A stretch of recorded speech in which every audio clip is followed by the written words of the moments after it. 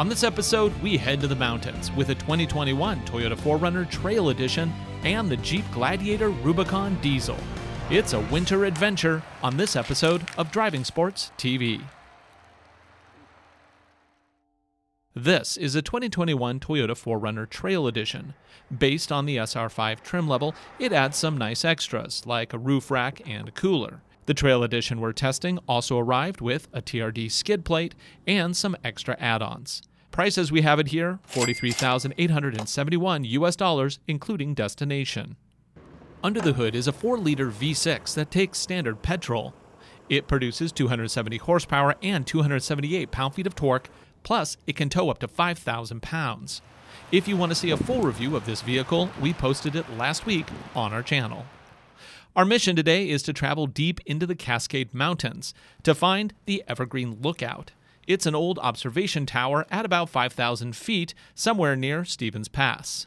But with the temperatures dropping and a weather front moving in, with every passing minute, it's looking less likely that we'll make it to our destination. But today I'm not alone. I have crew with me who are going to be chasing in this 2021 Jeep Rubicon, thank you, Diesel Edition. By the way, did I mention the temperature just dropped like 10 degrees? This is the Gladiator Rubicon, which means that it has a 5 foot truck bed. It can seat five and is loaded with off road ready hardware. Under the hood is a 3 liter EcoDiesel engine that produces 260 horsepower and 442 pound feet of torque. Towing capacity is 6,500 pounds. Prices you see it here 67,130 US dollars. We're not sure what we're going to encounter on today's journey, but both the 4Runner and Gladiator have solid off road bona fides.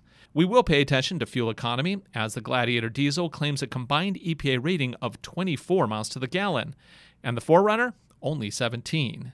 We'll also look at the supplied tires. The 4Runner comes standard with all seasons that, as we showed in the previous episode, were pretty bad in the snow, essentially making chains a requirement. But what about the Gladiator's 33 inch mud terrain tires? We'll try them out and see which is a better setup for folks that don't want to buy into dedicated snow tires. With the vehicles sorted and snow already starting to fall in the higher elevations, we headed into the mountains to see what we could learn about these rigs on an unpredictable midwinter outing. So, we are, of course, driving up into the Cascade Mountains and we're going to someplace new. Today, instead of just going up to the river, crossing whatnot off of I 90, uh, we're going down Highway 2 and into the mountains through the Beckler Road access. The goal this time is to get to Evergreen Lookout. However, the weather has turned really, really bad. It is not only cold, it's very wet uh, and windy. These are all the things that you don't really want when you're venturing into the forest because you know you can get a lot of debris on the roads trees can fall especially in very moist windy conditions. We do have all the stuff we need to be successful if nature doesn't get really really harsh. But it's the mountains. Who knows what's going to happen? What's your cruising mpgs like? 30.7 the 4Runner here is getting 21.4 so far so win for the diesel the 4Runner here on the freeway is, you know, not bad driving experience. It is a body on frame, so you get a little bit more bounce and roll than you would get in a unibody. It does have adaptive cruise control, which is very much appreciated. It does not have automatic steering, so it is missing that feature uh, that you do get on a lot of crossovers starting at about the same price point. The head unit has been upgraded and it is looking pretty nice. It has Apple CarPlay and all the regular features like XM radio and whatnot. And uh, we are starting to get snow now. So now we have snow, rain, and wind here in the Cascade Mountains. Just another Wednesday. Rain has turned to snow and it is blanketing the highway. We are going to turn off the highway here in just a few minutes and onto a forest road. So the weather forecast was for roughly five inches of snow up here. Um, if that's all we have on the road, we should be fine today. However, these are the mountains. There can be very much localized amounts of snow. Could easily be a foot or two, uh, depending on where we're heading and how much snow accumulation was still there from last time it snowed, which was um, a week or so ago. I've actually never been on this road beyond the Beckler River Road. Um, we're going to go all the way to Jack Pass, and then from Jack Pass, we break off on a spur up to Evergreen Lookout. So it should be interesting. Jack Pass is at about 2,800 feet, and then from there, we climb all the way to about 4,500 feet, which is the same altitude roughly as Stevens Pass, which is a very popular ski area and is currently advising traction tires only. So there should be quite a bit of snow up there actually. Uh, but has it had an opportunity for a lot of accumulation yet? That I don't know. What's your average MPG looking like? 27.1 as of 22 minutes on the trip. Cool. Okay, so I'm at uh, 20 miles to the gallon even. Driving position, the seats aren't the most comfortable. I'm getting a little dead spot right in the back middle and actually under my legs. I have to kind of keep doing ankle circles because uh, they're getting a little tired. Been on the road now for about an hour. Of course, every body is different. So what doesn't work for me may work for you. I'm six foot one. I have legs and torso proportionate. Uh, a lot of people have longer legs than torso. So again, ratios don't always work out to be the same for everybody. I'm looking at getting a 4Runner for myself again. I used to have one. It was a 96. Um, I had it a few years ago. It actually appeared on some episodes of the show early on.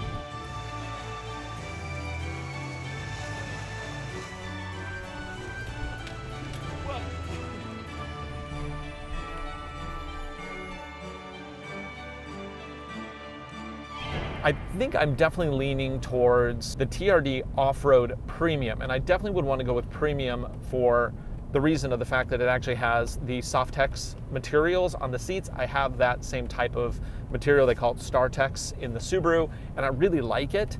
Uh, I think that it would be great to have it in the 4Runner as well. And then of course you get the keyless start and keyless entry, uh, which when you're getting in and out of a vehicle on a production, sometimes you know around other people, bystanders and whatnot, you kind of want to be able to lock your vehicle without having to get the key out, hit the button and all that stuff.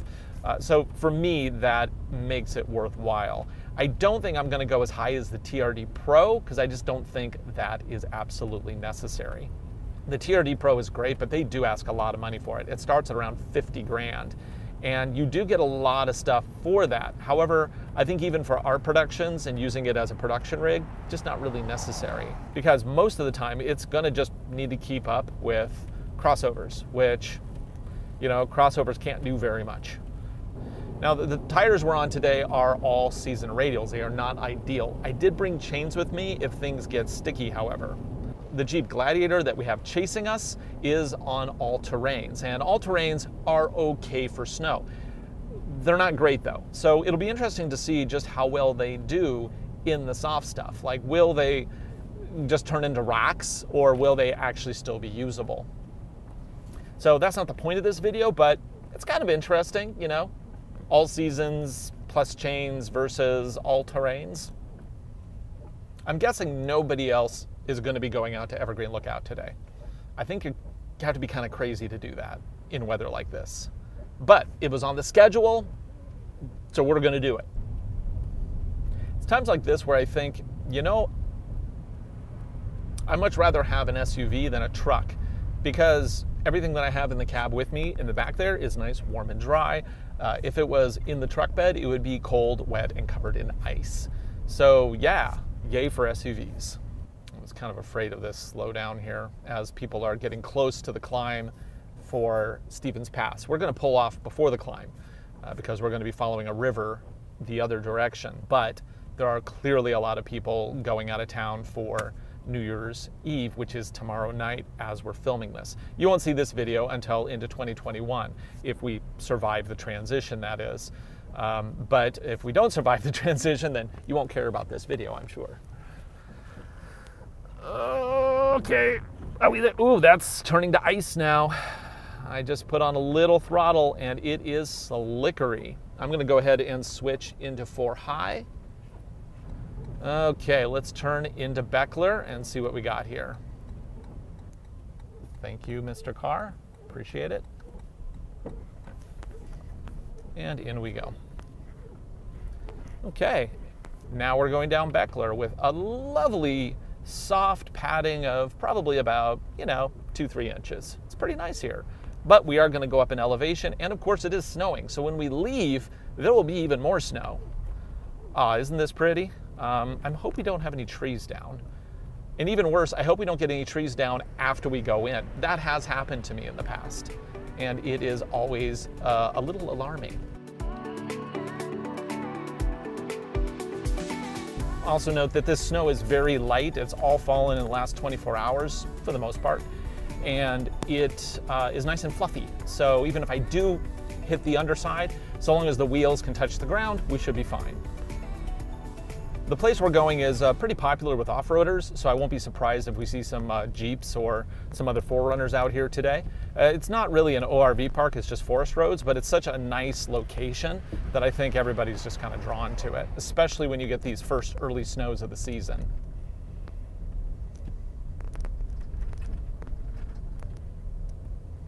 I'm gonna stay in the tracks. That should be a little easier driving. No reason to fight it, right? In the summertime, this is a really nicely paved stretch of road. It has a, a few areas where it's sunk and it's not great, but for the most part, it's a pretty nice stretch of road. So we got a tree down here.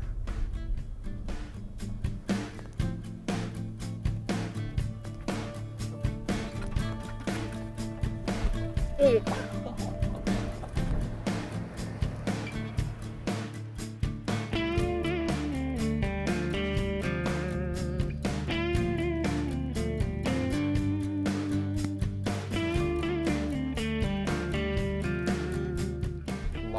trees heavy in snow causes a lot of breakage and down trees. Now, the very first time I ever found this road was back in the early 2000s. I was about to do the Alcan 5000 rally and I had a new car and I wanted to just kind of test it out in some forest roads. So I ventured all the way out here, didn't know what I was going to find, but I did find this road. And I found this road right after a windstorm and the Forest Service had cut all the trees almost like it was a game of pole position. Basically, you could swerve through the trees. It was really cool. Kind of wish I had video of that. But, you know, if you don't explore, you don't find these fantastic locations.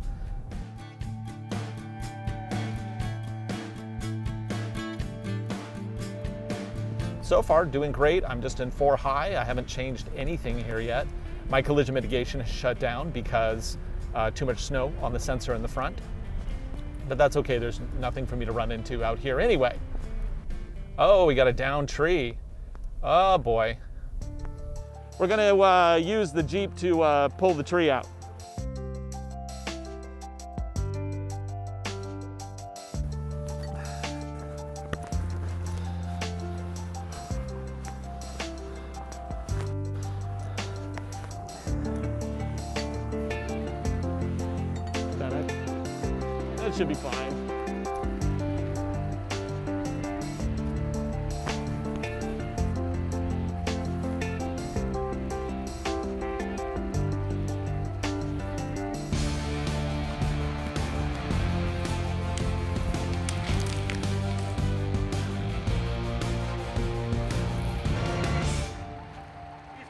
Saves me about an hour. Yeah, happy to help. Thanks so much. I get the feeling we're gonna need this again.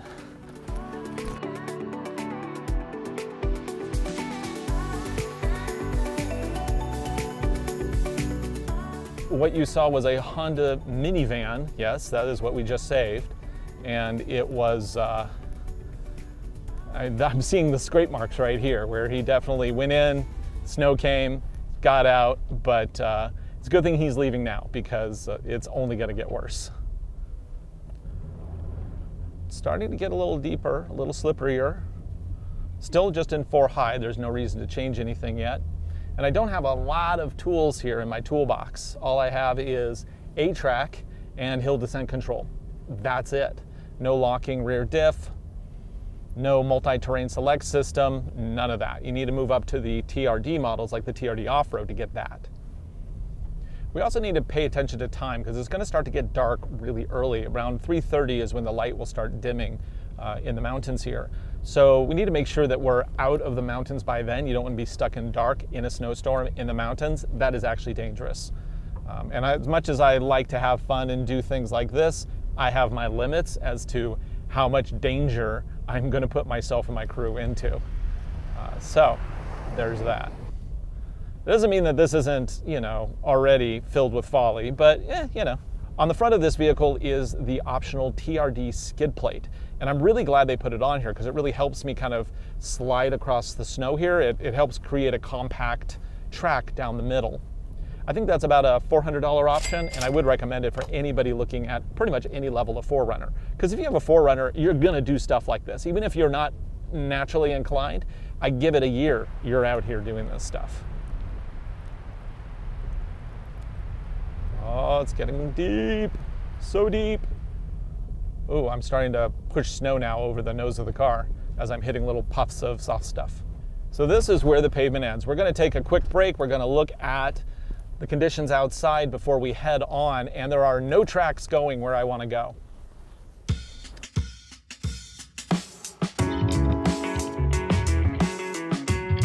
It's important to have, you know, a clear area.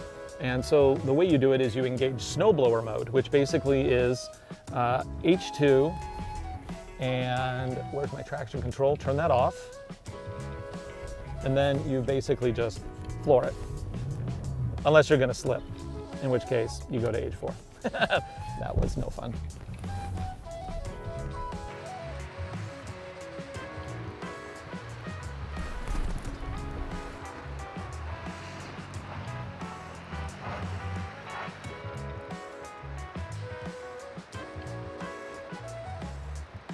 First thing we're doing here is we're actually looking in the manual to see where they want us to put chains.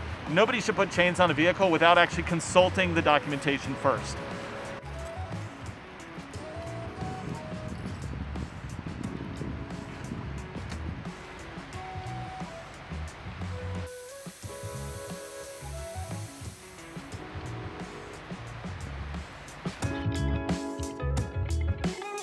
Given the weather conditions, I don't think we have any hope of making it all the way to the Evergreen Lookout. However, there's a halfway point called Jack Pass. That is our new destination. I've got chains on the 4Runner. We've aired down the Jeep Gladiator. I think it's time to go. While we were chaining up, a rig cut us a nice little path. It was a big Ram Power Wagon. So it's good to know that out here somewhere is a power wagon. If we get into trouble, he's got a winch in front. A winch, not wench. Common misunderstanding. With chains on the 4Runner and the Gladiator aired down, we pressed on into the woods. And in this situation, the 4Runner was really doing great. Granted, turning was more like steering a small boat with inputs suggesting direction more than demanding it, but I never really felt like I was going to get stuck. Now it's time to switch out to the Jeep to see how the aired down Falken mud traction tires compared in these conditions. We're now inside the Jeep. And uh, yeah, the interior, so much different. So I'm kind of curious how this feels. All-terrain tires at 20 PSI versus chains on regular all seasons. This is nice. Of course, putting on chains is a pain. I love the rumble of this thing though. This Gladiator diesel, it sounds like you're driving a semi. Power. Of course, one of the benefits of all-terrains air down is you don't have to worry about spinning your wheels. You know, with chains, you have to keep your speed down so that you don't damage the chains or damage your vehicle. Uh, but with all-terrains, I mean, whoa. It's in 4 high right now, by the way. Uh, there's no other features enabled yet because just don't really need them. To say these Wildpeaks are not bad.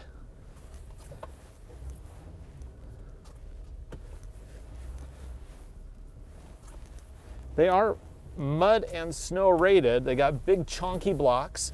They are basically as hard as hockey pucks when it gets really cold, but you air them down and the chonkiness just woohoo! Nice controlled slides. The mud traction tires were surprisingly decent in the snow.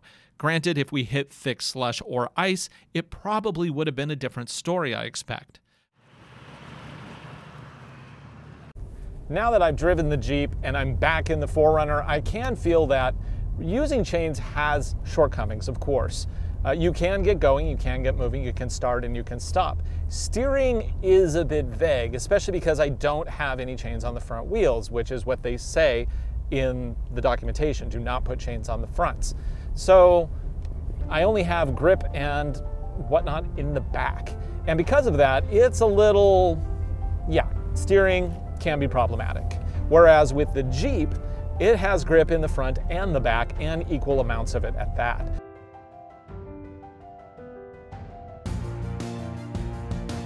We pressed on through the snow, getting ever closer to Jack Pass as the snow started to pile up. We even saw that power wagon again. This time he was winching himself out of a ditch.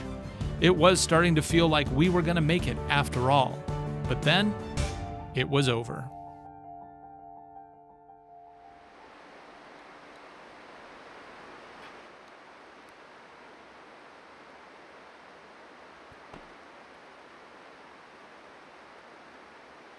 So it does appear as though this is the end of our line today. This tree probably just fell. It is important to note just how much snow was falling and how hairy the situation was becoming. Without a chainsaw, all it would take is one tree to lock us in overnight. We decided to turn around and regroup at the nearest crossroads. But first, we needed to turn these rigs around. This really emphasized just how long the Gladiator is. With a wheelbase of 137 inches, it's more than two feet longer than the 4Runner. This makes turning around on tight trails much more of an issue for the long Jeep. As for the midsize 4Runner, it's surprisingly nimble.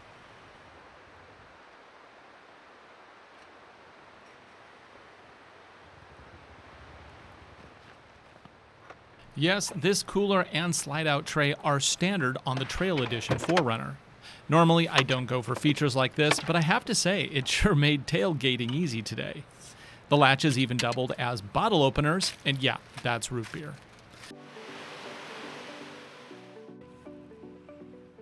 After a quick lunch, we headed out of the woods. Time to wrap up this adventure by checking in with the Jeep to see how economy is working out. Okay, so we went into the woods, we had some fun. We drove basically about the same. What's your MPGs? Currently at 15.2. I'm at 10.2. Compared to the diesel Jeep, I think that's actually pretty good because you're not paying the premium that you do with the diesel Jeep. Even though we didn't go that deep into the forest, just this little adventure has given me just a real love for the 4Runner. I used to own one, I want to buy another one. This just reaffirms the fact, even though I've driven so many cool modern vehicles in the last few years, heck, in the last few months, there's something about this vehicle that just feels like home. For me, it's just a more comfortable and practical vehicle. I can certainly see the appeal of the Gladiator, and I don't doubt that Jeep fans will find it the better of these two vehicles. But for me, and perhaps for many buyers, the practicality of the 4Runner combined with its solid off road abilities really makes the Toyota the better choice on an adventure like the one we had today. For Driving Sports TV, I'm Ryan Douthit. Thanks for watching. Which of these would you buy? Post a comment below. Also, be sure to like and share this video. We make them for you, and we hope you enjoy them. Until next time, drive safe.